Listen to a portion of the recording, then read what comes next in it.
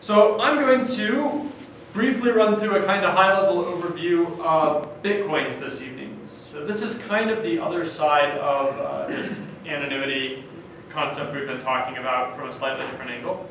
Uh, as a disclosure, I own Bitcoins and I benefit if you guys all go home tonight, decide Bitcoins are the greatest thing ever, and buy a bunch. Uh, it makes me a richer person. So take that. I, I won't be dishonest to you, but I am inherently a biased party. So we will start by watching the fun Bitcoin intro video because it does a good job of doing the overview.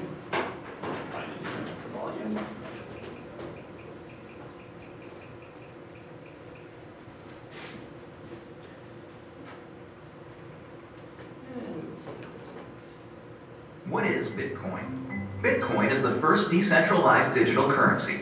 Bitcoins are digital coins you can send through the internet. Compared to other alternatives, Bitcoins have a number of advantages. Bitcoins are transferred directly from person to person via the net without going through a bank or clearinghouse. This means that the fees are much lower. You can use them in every country. Your account cannot be frozen, and there are no prerequisites or arbitrary limits. Let's look at how it works. Bitcoins are generated all over the internet by anybody running a free application called a Bitcoin miner. Mining requires a certain amount of work for each block of coins. This amount is automatically adjusted by the network such that Bitcoins are always created at a predictable and limited rate. Your Bitcoins are stored in your digital wallet, which might look familiar if you use online banking. When you transfer Bitcoins, an electronic signature is added. After a few minutes, the transaction is verified by a miner and permanently and anonymously stored in the network. The Bitcoin software is completely open source and anybody can review the code. Bitcoin is changing finance the same way the web changed publishing. When everyone has access to a global market, great ideas flourish. Let's look at some examples of how Bitcoins are already used today. You can purchase video games, gifts, books, servers, and alpaca socks. Several currency exchanges exist where you can trade your bitcoins for dollars, euros, and more. Bitcoins are a great way for small businesses and freelancers to get noticed. It doesn't cost anything to start accepting them. There are no chargebacks or fees, and you'll get additional business from the Bitcoin economy. For your first Bitcoins and more information, visit weusecoins.com.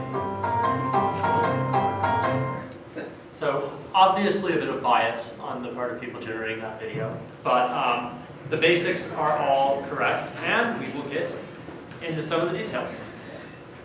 So Bitcoins are a cryptocurrency. They sound really good, but how do they actually work?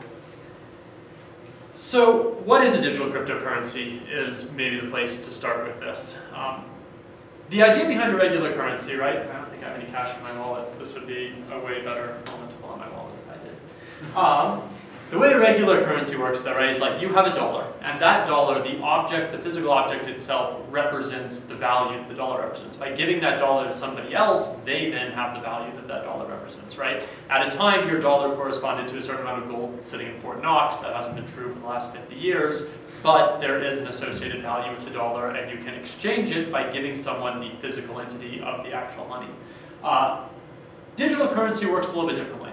Digital currency, you can't give someone the physical entity, right? Because there is no physical entity. It's a series of bits. You can make copies of it. Uh, it's not like a one thing that exists that you could just transfer to someone by handing it to them. So instead, we kind of have the concept of a deed that works a lot like a car deed does. I don't know if people have ever bought or sold cars here before, but the concept is similar. So with a digital coin, you can have multiple copies of it, but associated with each coin is essentially a deed that says who the current owner of the coin is and as well as all previous owners of the coin. So assuming you can guarantee this accuracy, it doesn't matter how many copies of this coin there are, that's telling you the one person whose value associated with this coin actually belongs to. So the way you accomplish this is, like Matt was saying, you use public and private key cryptography. Again, I'm not going to dive way into it, but the basic gist is if you want to transfer a coin from one person to another, you can do so by essentially signing, you having the, it's a chain of events, so the previous owner can use their private key to sign the next owner's uh, identification and then transfer it to them, and the only person who can perform this action is the current owner. So the private key infrastructure and public-private key cryptography is kind of what's happening behind the scenes here to make this signature secure, such that the only person that can actually transfer a coin is the current owner. So this works just great if everyone's honest and the original owner decides he wants to transfer to person B, he sets up, signs the, basically signs the coin over to the new person, and then it's theirs to spend. If we take, there's a PayPal reference at the end that uh, is kind of the original descriptor of how Bitcoin works. This is their image, so it's essentially showing the same thing as before, but with a few more of the details, but the concept is the same. Every previous owner to transfer the key essentially involves signing a new copy of the key over to the next owner. This does have an inherent problem in it though. While it guarantees that the owner of the coin is the only person who can transfer or spend it, it doesn't do anything to make sure that the original owner only ever spends the coin once, right? In this system, there's nothing to prevent this person from being dishonest and essentially making two copies of his key, signing one over to two different people, and having them both think that they've been paid with this amount of money, right? That they're the new owner of this key. Now, really, there are two keys in the network and there are discrepancies in who's the correct owner. Um, there's really no way to resolve this discrepancy in this. They're both technically the correct owner by the rules of the network, but obviously this coin's no longer worth anything because we've just magically doubled it. So how can we prevent this double spending problem? And the basic gist of it is, any solution to prevent this problem needs to be aware of all transactions in the network because once you know every transaction that's ever happened, you can always just make a rule that the earliest transaction is the valid one. So in this previous case, nothing ever happens simultaneously in the real world, right? And there's logical clocks and distributed systems things to ensure that that's true. If we have a global view of every transaction that's ever happened, then we can simply invalidate whichever one of these happens second. So at that point, we can say this one's invalid. We can inform this person that when it's happening, so he knows not to accept this as payment. And we can now guarantee that you can only ever spend a coin a single time. Accomplishing this, so how one's aware of all these transactions is what becomes kind of the complicated issue behind the scenes here. The traditional solution to this problem is to have a centralized entity, so we'll call it the mint in this situation, where every time you want to spend a Bitcoin, right, every time you want to spend a currency, you have to send that through this central entity. Then it becomes pretty trivial for the central entity to track every transaction that's ever happened, to order the transactions, and to basically only issue. So what the mint actually does is the mint shreds up the old coin, and if the transaction is valid, generates a new coin and actually sends that to the person. And then you only ever accept coins from the mint. You never actually accept coins directly from anyone else. So this solves the problem, but it relies on this centralized entity, which has a number of problems. It's a single point of failure. It's a single person you have to be comfortable with knowing about every transaction on the planet, right? I mean, there's a privacy issue here. Um, and there's just a, there's a load issue here, right? Can this scale? Can you ever possibly have one person or one entity that's in charge of maintaining, if this ever became like the only global currency, does, could, could that even scale? So we want a solution that doesn't involve this central entity. And that's where Bitcoins come in.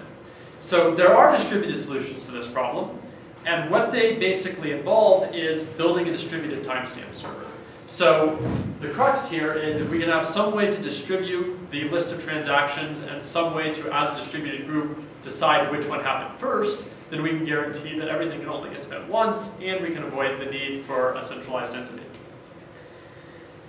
So the way this actually starts to work is we can push this all out into the network. We can basically have volunteers in the network where every time we spend a Bitcoin, we essentially have them sign off on the transaction and timestamp it when they do such that we can then later on, when that coin comes up again, they can search the network for the previous uh, action with that coin, check the timestamp, make sure that the oldest timestamp uh, is the one that corresponds to the person who's trying to spend it to you, so you can verify that they're the ones that actually own it. Um, and that way you can, kind of a distributed base, guarantee that uh, the coin can only be spent once. So the downside to obviously doing this is we still have a problem we can push this timestamping out into a network, but what if multiple hosts in the network disagree, right? What if I spend my Bitcoin and Tom sitting in the network somewhere signs off on one time and Joe sitting in the network elsewhere signs off on a different time? What if I spend it twice, right? What if I change my network connection? What if I spend it once when I'm sitting in China and someone in China sees the transaction signs off on it, and then because of the Great Firewall or something, I take it back to the United States, I spend it again, that person never having communicated with the person in China, someone else signs off on it here, and have we really solved the problem, right? If this person here doesn't know that first transaction happened, then we have, we can essentially exploit the distributed nature and we're back to the problem we originally had, which is how do we know which timestamp's correct? So the way we get around that involves a couple of steps.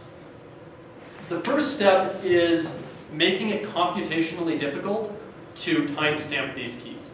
So, and you'll see why this is necessary later. So we have what's called a proof of work, where a proof of work is basically, we'll go into the details of one they use here, but a proof of work is basically something we add that is hard for a computer to do. Like your computer has to spend some time getting it done. Um, so what Bitcoin actually uses is a pre-existing proof of work concept called Hashcash that was originally designed as a DDoS defense and has actually subsequently been used as a spam defense. What it basically does is it says uh, the job of your computer is such, right? So your computer gets some piece of data. And before it can pre present that data, it's going to present that data to someone, but that person's only going to accept the data if it satisfies some property being the specific property here.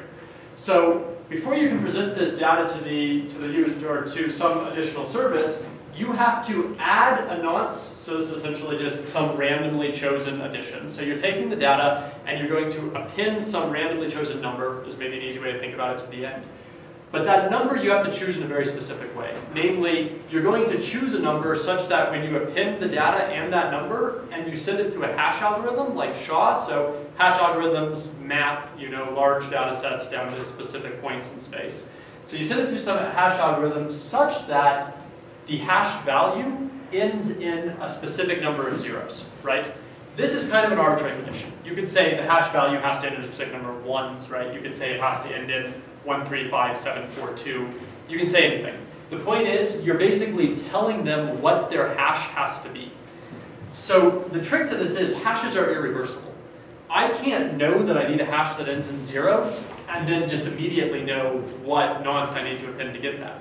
The only way to find one of these hashes that ends in, you know, a specified number of zeros, obviously the larger n is, the more work this is, the harder this is, the harder problem this is to solve. But if n is sufficiently big, the only way for me to figure out whether or not I've picked a number that ends in all zeros is to iteratively try this via brute force. So I pick some random number, I compute the hash, I see if it satisfies this condition. If it doesn't, I increment my random number by one, I repeat the process, so on and so forth. This is very computationally intensive, right? This is brute force password breaking, essentially, but we're forcing you to do it.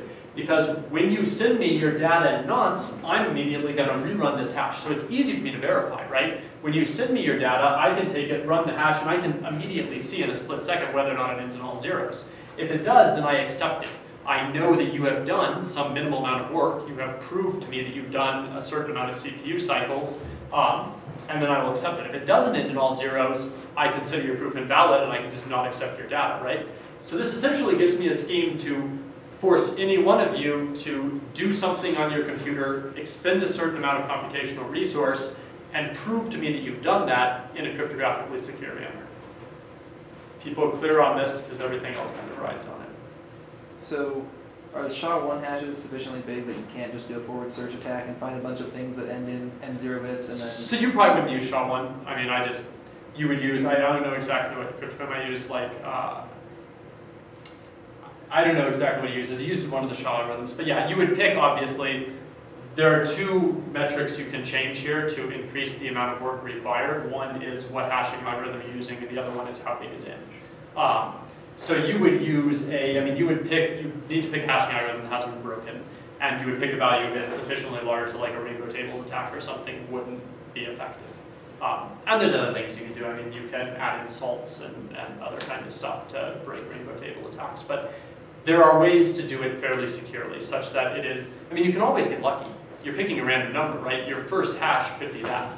But probabilistically, you're going to have to expend a specific amount of time for a specific value of n in order to solve this problem.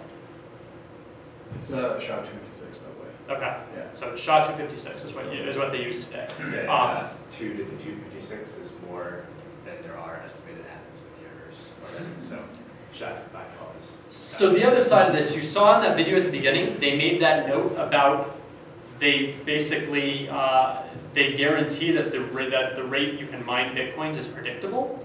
The way they do that is by dynamically changing this in. So as more people in the world are mining Bitcoins, right, uh, they basically increase this in. So the more people are searching for Bitcoins, the harder they make them to find. Um, and that way they can vary by, by regulating this value of in, the Bitcoin network can very carefully control exactly how many Bitcoins can ever be generated, which we're not going to get into tonight. You could do an entire economics lecture on Bitcoins, but there is economically advantageous reasons for being able to control, this is essentially controlling the rate of inflation. So by staggering in, this is your fun computer science economics here, you can change in to control the rate of inflation in a Bitcoin economy. Is that how you're you're saying that's how bitcoins are created? Uh, kind of, we're not entirely there yet. So does someone with a really fast computer, can they just mine them really, like faster than some guy with a Yes, the faster your computer, the faster you can mine. Huh. Yeah, But it's not, eh, that's a good thing. Uh, It's essentially forcing you to, I- we'll get to it in a minute. Uh, It's not, this is not directly translate to how bitcoins are mined, it's a little bit, what mining is, is a little bit more complicated, we'll get there momentarily. But this is the underlying, this is the regulator for how quickly bitcoins can be mined. Um, So now what we can do is we distribute the same thing again, but we're adding one thing to it. So we have our distributed timestamp server, but now in addition to various nodes on the network basically signing off and timestamping these transactions, every node on the network basically has to add this proof of work to it.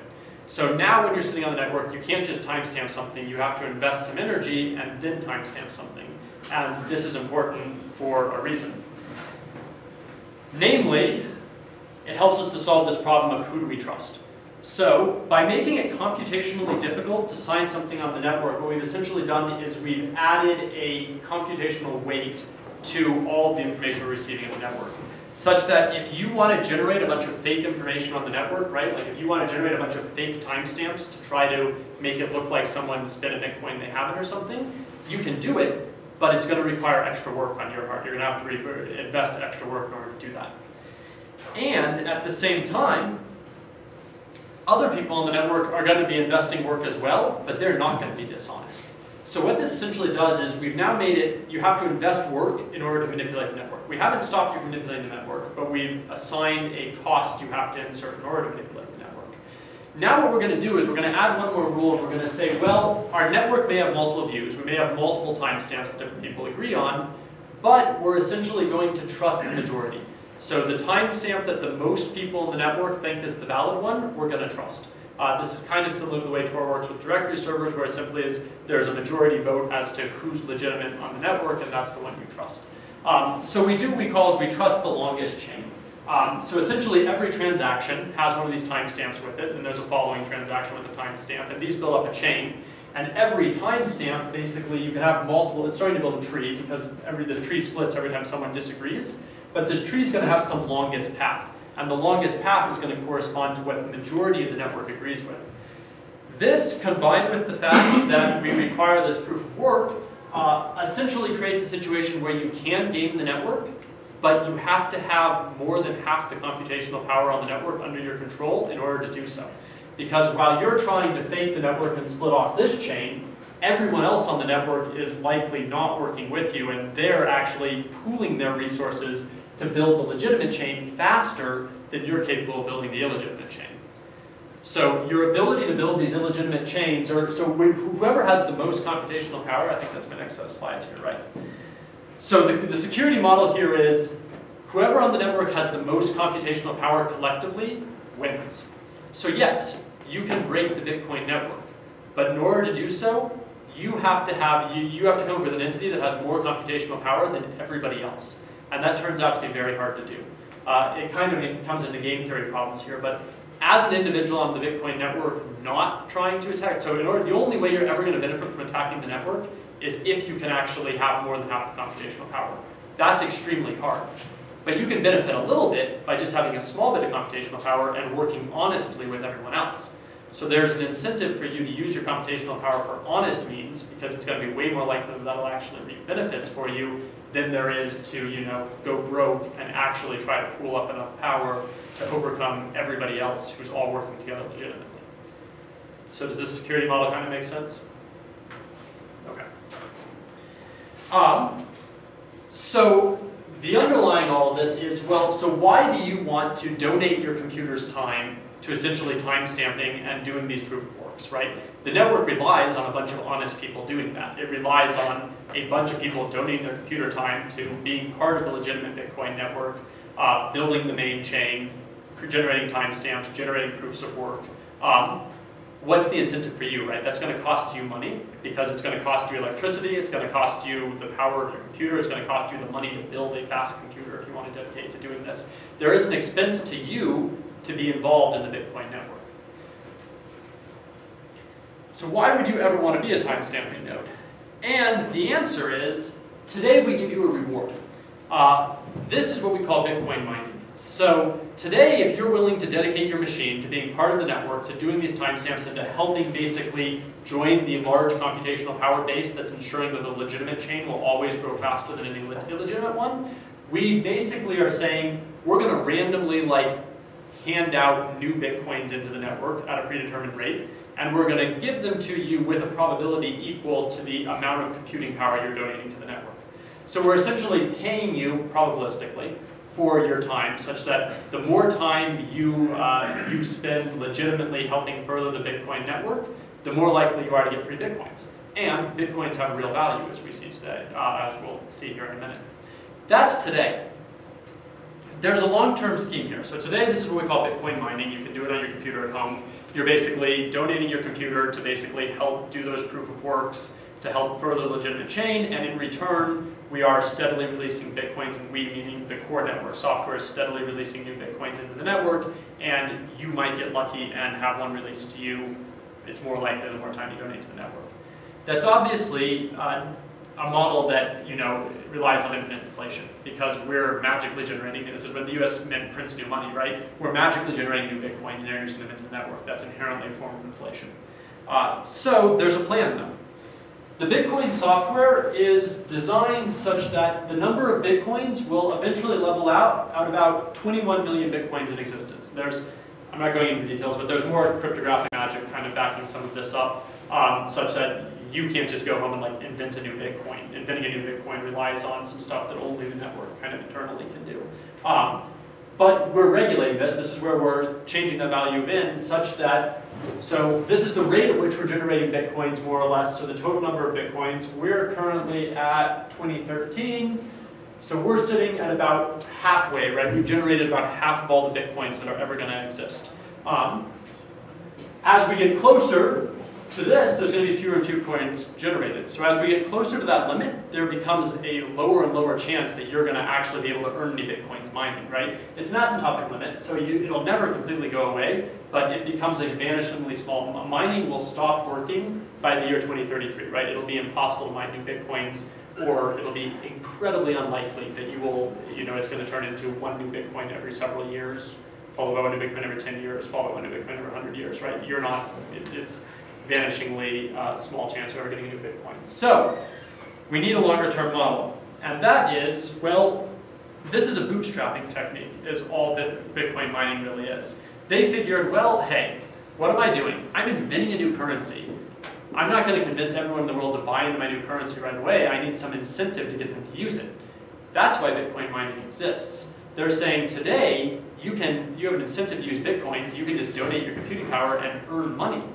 But by the time the Bitcoins are so well established that there are that many of them in circulation and we're 30 years after this currency's been introduced, they're assuming at this point the currency's been established enough that we don't need to give you free Bitcoins anymore. Instead, other people in the world are, will start paying you directly to essentially verify their Bitcoin transactions for them. So now every time you spend Bitcoin, some fraction of that's going to basically go toward the people who are using their computing resources to guarantee that your Bitcoin transaction is legitimate.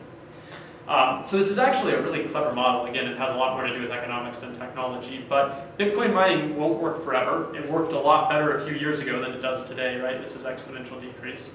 Um, but we are getting to the point where even today, you do get charged transactions for certain fees. And as we go through in time, the transactions you get charged will increase. That's how people will get paid. The Bitcoins you can mine will decrease. That starts to go away as the incentivized factor. So where does the privacy and anonymity come into all of this? Um, it's not so much that Bitcoins are inherently anonymous as they change the privacy model versus the standard financial system. So in our standard financial system, we have a privacy wall, but it exists here, right? When you open a bank account, when you use your credit card, your identities, the transactions associated with it, are known to a trusted third party, right? You can't open a bank account without showing them a valid ID, right? Your bank knows your name. Uh, you can't get a credit card, you can't get a loan, you can't do anything without proving your identity. You're basically designating your bank, being that trusted third party, as someone who you're trusting to keep your transactions private, and then it's your bank's job to make sure that you know your credit card history doesn't get revealed to the general public. The Bitcoin changes that. With Bitcoins, transactions are all public. By definition, they have to be. The network only works, again, if everyone agrees on what transactions have happened and the timestamp associated with them. So in Bitcoins, your transactions are less private than they are today, right? Anyone in the world can see at what can see the complete history of every Bitcoin everywhere. But in the Bitcoin network, the privacy wall exists here. To open a Bitcoin account, you don't need to give anyone your name you load a piece of software, it generates a random key, and people can send you money by basically sending, you. I mean, you saw that a minute ago, but you can send me money by, I could have put it up here. Uh, I have like several Bitcoin wallets, each of which has essentially an address. It's a form of public key associated with it that's like 30 random characters long. So just by knowing those 30 random characters, you can send me money. You never even have to know my name, right? I can get online and say, I am offering some service, send your money to this random address, I will get your money, but there's a strong privacy wall here. No one ever knows who that money is actually going to, right? There is no chain. There's no government that can block out this account. There is no ability for the IRS to audit this account, and so on and so forth. The privacy screen's in a different place. Uh, this doesn't, it's not 100%, I mean, this doesn't stop you from being stupid, right? There's, sometimes people use Bitcoin in, uh, with Tor uh, as a combination, because obviously if I'm posting a website at my house and I have my Bitcoin address on it, right? The Bitcoin address itself may be anonymous, but if you're pulling it down off a website that you can call up Comcast and realize that I'm paying Comcast to host that website, all of a sudden you have a pretty good idea who that Bitcoin address is actually affiliated with, right? So this isn't bulletproof by itself, but when used properly, this basically allows people to send money to you without actually knowing your real identity, which is very difficult to do in the traditional banking system. Questions on this? So just a few metrics. Um, this is a map of Bitcoin values thus far. So this is Bitcoins versus the US dollar. It is a real currency. It's widely deployed, uh, or at least it is today. There have been some rather epic crashes. So, I mean, this is a highly speculative currency, right? Don't buy Bitcoins unless you have a stomach for maybe losing all your money tomorrow, because this is largely an artificial economy there is no gold backing up my Bitcoins, right? There is no standard. My Bitcoin's value is whatever someone's willing to pay me for it. And tomorrow everyone in the world will decide Bitcoins are a farce, they're stupid, and they're worthless, and all of my Bitcoins would be worthless. But thus far, Bitcoins, other than the early crash here, which happened a little over a year ago now, um, Bitcoins have actually been growing fairly steadily since then, and there's a lot of websites that cite them. What, what this curve could be taken to represent to some extent is people associate intrinsic value with being able to have essentially an anonymous, non-regulated currency. Uh, and that's why they're willing to pay $25 to buy one of your Bitcoins right now. You can also mine these Bitcoins, but the point of profitability in mining Bitcoins has disappeared pretty, I mean, you can't really make any money mining, mining Bitcoins today unless you happen to own a supercomputer. But your regular computer sitting at home is not going to be able to mine fast enough because again, remember they're regulating that rate. So you're not going to be able to mine fast enough to essentially generate bitcoins for free. It'll cost you more money in electricity than it will you'll actually ever earn via your bitcoins. But you can still get bitcoins. You just have to pay someone who already has them to give them to you, right? There's a scarcity here and a willingness to pay for it. Um, there's a number of references if you're interested in this where you can go into more details. Like I said, this was kind of the high level overview. Uh, the one other thing I will add is Bitcoins plus Tor are a common combination. The maybe uh, most controversial slash least glorious implementation of this is the website or web service called Silk Road. Maybe some of you guys are familiar with it. What Silk Road is, Silk Road takes advantage of those Tor uh, destination points that Matt was talking about to essentially host anonymous web servers. So Silk Road is a web service, but nobody knows where those servers are, and they use Tor to achieve that. You can go on Silk Road and buy pretty much any drug you've ever heard of to get shipped to your house, but you're only allowed to pay in bitcoins. So Silk Road is leveraging these two anonymizing technologies to essentially allow you to have a illegal marketplace online. Um, I'll send it out to the group later. There's a, actually a good expose on someone's first-person experience using Silk Road. Again, I don't condone anyone going and buying illegal things, and just because you makes it easier to get away with it doesn't mean that you won't get caught and go to jail for it. But um, yeah, it leverages bitcoins and Tor to operate what appears to be a rather effective, you know, eBay for drugs, uh, more or less, and other things, but mainly drugs. I guess we should be thankful it's mainly drugs and not other things. Well, can uh, I guess Bitcoins plus Tor also be used for like? It sounds like it'd be a great tool to use for money laundering. And the US government would probably agree to you. Uh, I don't have any statistics on this, but you know, this is, this is the kind of thing that gets you in trouble on YouTube. If I were running a worldwide terrorist organization with the intent to bring down large first world countries via asymmetric warfare techniques, Mm-hmm. I would be using Bitcoin uh, and Tor to move money around to various operatives and buy C4, right? Um, yeah, there's a darker side to these things, but at the same time, you can use Bitcoins because you're sitting inside a government with an oppressive regime to buy server time in the United States so you can host your pro-democracy server, right, running via Tor such that your government can't shut it down. I mean, yeah, the tools themselves are not inherently good or bad. Do they enable people to do bad things that our traditional law enforcement system doesn't really have a good way of catching? Absolutely. Uh, but the counter argument to this is, I mean, realize both Tor and Bitcoins come out of a, uh, a pretty, what would the word be? Um, anarchistic, being on the anarchy side of kind of the hacker movement, such that we don't want a government to regulate our things, we don't want a government to watch our traffic. We want to be able to do it on a peer-to-peer basis, and that's where Bitcoins and Tor come in. So there's good and bad. Right now, the media focuses on the bad, but you know, you can buy, a lot of server hosters will let you spend Bitcoins. I own Bitcoins, it's not to buy drugs, it's because I'm being really speculative and hoping this curve keeps going up such that I can eventually sell my Bitcoins for more than I bought them for and make money off them, right? So uh, it's also so if I ever wanted to buy something and just feel cool about no one being able to trace it, I can.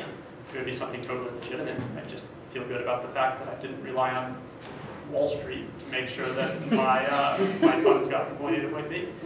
There are other ways, and that's what Bitcoin's presenting. Well, plus, with anyone moving a significant amount of money that you would want to be laundering in the first place, that would like significantly affect the price of Bitcoin as well. Well, yeah, maybe. I mean, if you bought them all at once, right? But there's a lot of, there's enough legit, there's a lot of Bitcoin traffic. I, I pull down the exact number, but I think it's to the tune of like hundreds of millions of dollars traded in Bitcoins a day. So we've gotten past the point where your one giant Bitcoin merge is going to make a noticeable blip. Um, it's obviously, so the place you can catch this is how do you buy those Bitcoins in the first place, right? So the biggest Bitcoin exchange uh, is probably Mt. Gox. We can look at it real quick. Um, so this is a service that uh, is hosted in Japan, and it's a Bitcoin exchange. They will trade various currencies, including the US dollar, for Bitcoins, right? So the Bitcoin itself may be anonymous, but Mt. Gox has its own rules, right? In order for you to pay Mt. Gox for your Bitcoins, there's going to be a funding trail there somewhere. So the funding trail might end at the moment you buy Bitcoins, but you can always trace it up against that point. So Bitcoins add plausible deniability, right? I can be a giant organization, you can know I bought a bunch of Bitcoins, but you'll never know what I spent them on. But yeah, I mean, if you're the Department of Homeland Security, you're probably looking for red flags of identified extremists happening to send large amounts of money Mt. Gox. I mean, maybe you're never going to prove what they actually ended up using those funds for after they bought Bitcoins, but it could be a red flag in the first place that you should maybe look closer at what's going on there. Is Mt. Gox under U.S. jurisdiction? Because I Yeah. can see. Japanese. Oh, okay. Never mind. Uh, the jurisdictional issues with this are a gray area. It's not illegal. I well, I'm not a lawyer. I don't think it's illegal to use bitcoins. Um, it's not well regulated. Mainly, it's a tax issue. So if you sell goods in bitcoins, right, I would technically still owe taxes on there on those. But the IRS doesn't provide a form for like entering in how many bitcoins worth of profit I made and calculating my tax off of it. Um, you would talk to an accountant if you, I mean, and, and the big companies, so like the EFF, I think, among various others, uh, so Mega, you know, Kim Dotcom's new venture will accept Bitcoins as payment. So there are le- legitimate companies using these for payment. There are governments around the world who are, so the Bitcoin Foundation is based in the United States, they're a nonprofit, they pay their employees strictly in Bitcoins. They pay income tax on those Bitcoins. They just have an accountant who sits there and basically, I mean, it's kind of a gray area. They have a way they do it. The IRS hasn't told them it's wrong yet. They basically convert the value of the Bitcoins to the equivalent value in US dollars and pay taxes on that. It it inherently defies existing regulations. That doesn't mean it's illegal. Uh, But yeah, there's some interesting issues that have yet to be worked out. Um, It is growing pretty rapidly. So the issues that have yet to be worked out, I mean, it's going to be very difficult for a government to just say, we're going to ban Bitcoins at this point, because like, what are you going to do, right? It's distributed peer-to-peer. Can you ever really stop it? So the question I think is going to be is how do you make it so people can pay taxes on their Bitcoins, so on and so forth.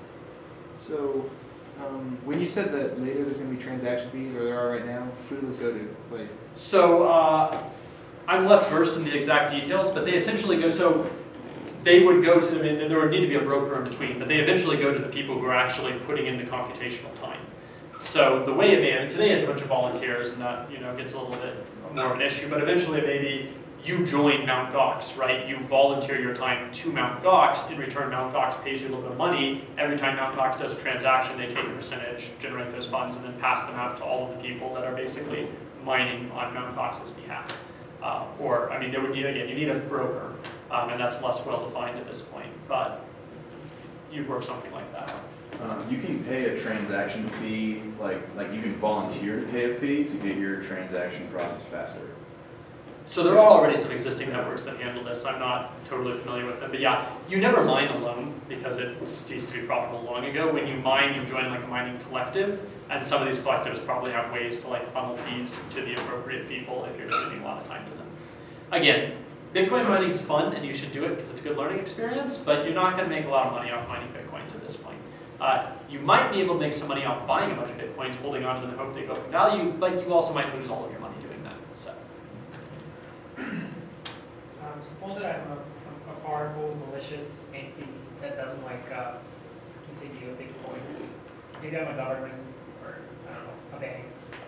And I decide to, all of a sudden, you know, start hoarding a lot of coins. Um, would, would, would that, would that attack of, say, buying half of the, the coins and hoarding them, um, kind of like kill the Bitcoin idea because, uh, people won't be as willing to adopt, you know, mining techniques or, you know, verifying things. I mean, I don't know if it would kill it, right? It would cost you an exorbitant sum of money to buy those, and a lot of people you didn't like would make money off you buying them because you'd have to buy them from the people you don't like, right? So I don't know if you want to do that. I mean, there's an argument that a government would never want to do that in the first place, right? That's essentially like, yes, I will pay all of these people I disagree with huge sums of money such that I can control their resource. I mean, the people are like, okay. um, and what do you have at that point? Yeah, you have half the world's bitcoins. You can sit on them. More power to you.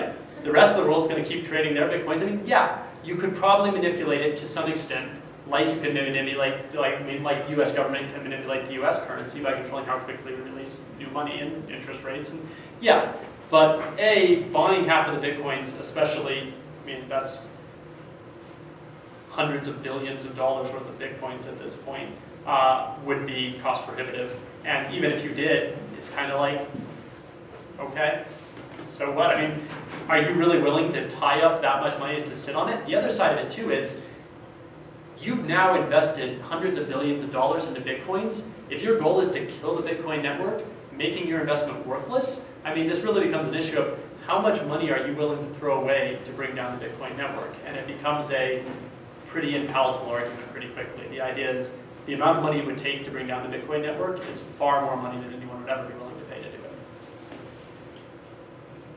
seems pretty much equivalent to just getting a bunch of money and holding onto it in like a normal economy. I don't see a big difference there. Yeah, right, but it's worse than that if your goal is to shut down Bitcoin, because then it's like getting a bunch of money and lighting it on fire. Plus, then the value of the Bitcoin would appreciate, and everyone who didn't sell to you would have even more money. Right, and and there, I mean, there is a, and really, even if you did buy half the Bitcoins and destroy them, you would really just help them. I mean, you would increase the value of everyone else's Bitcoins, right? You would increase an additional scarcity. So the clever thing about the way Bitcoin is designed is it takes a lot of attacks and turns them into, if you want to attack the network in that way, you can, but you're actually going to strengthen the network in doing it. Or it's going to cost you a huge amount of money at the very least. Those are decimal values in bitcoins. Yes. How does that work? So you absolutely can buy less than one Bitcoin. Each Bitcoin is subdividable up to like, does anyone know off the top of their head, seven, maybe eight decimal places or something. Um, there, there, so yeah, you can buy fractions of Bitcoins up to like the eighth decimal point. There's, I didn't go into it, but actually all of that system of how you verify things actually works on like those sub-fractions, so on and so forth. If you want to know all of the dirty details, you can read the original paper. Um, so if you go to bitcoin.org, here's kind of the original academic paper. It was published by this Satoshi Nakamoto, who's not a real person. Um, so no one actually knows who invented Bitcoin. It's thus far remained anonymous.